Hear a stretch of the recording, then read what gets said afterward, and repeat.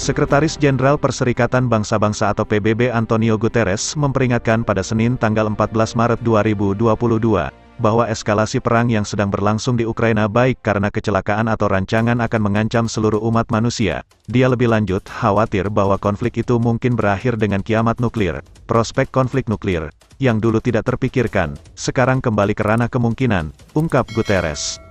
Komentar Guterres tentang perang nuklir dibuat sehubungan dengan Presiden Rusia Vladimir Putin yang meningkatkan pasukan pencegah Rusia yang mencakup berbagai senjata strategis, baik nuklir maupun konvensional, menjadi siaga khusus di bulan lalu.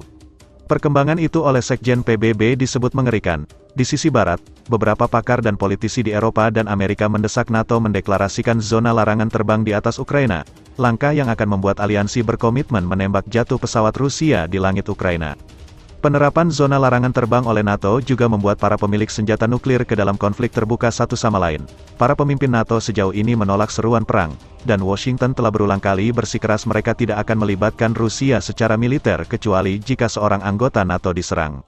Selain momok konflik nuklir, Guterres memperingatkan, perang ini tidak akan memiliki pemenang, yang ada hanya pecundang. Kaum miskin dunia akan sangat terpengaruh oleh melonjaknya harga pangan, Paparnya, dia mencatat, Ukraina sendiri menyediakan lebih dari setengah pasokan gandum program pangan dunia. Menurut dia, gabungan Rusia dan Ukraina menyumbang setengah dari pasokan minyak bunga matahari dunia dan sepertiga dari gandumnya.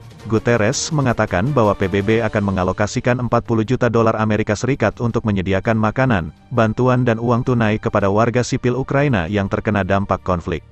Dia secara pribadi telah secara tidak langsung berhubungan dengan Putin untuk membahas mengakhiri konflik PBB. Menurut dia, juga telah menghubungi sejumlah negara ketiga, termasuk China, untuk membahas negosiasi mediasi.